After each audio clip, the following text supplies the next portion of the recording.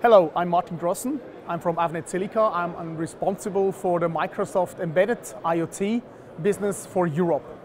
Today, we show here at Embedded World the new Azure Sphere technology from Microsoft. This is an outstanding new technology uh, for high security MCU devices. So Microsoft created or developed together with a hardware partner with MediaTek a microcontroller unit, MCU chip, and combined all the security features from operating system standpoint, cloud connectivity, everything into this chip as a closed system. So outside here we have connectivity for GPIOs, UART, uh, serial ports, I2C, and uh, a lot of um, uh, pins to connect sensors and actors for the IoT world.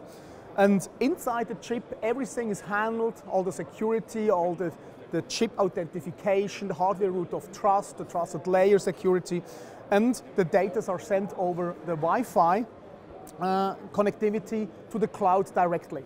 So it's a closed system, especially for customers who don't want to take care about all the security. This is a great solution here. And as Avnet, we are going a step further so we created a module, a production-ready module. Uh, we can see this here in action. So this is a very small module on top. This is mounted here on our starter kit. Uh, this module with Wi-Fi, production-ready, certified, fully certified, um, can handle all this uh, stuff and can handle also the application. It can be updated over the air. And here as a demonstration, we have a blender, a mixer demo, and you see this is uh, directly connected only to power. There's no data uh, connectivity, but it's steered over this Azure Sphere module. See the relay? So we can uh, measure the current here, we can measure the power, and when I start now a, a program to mix, this is locked now in, in the cloud.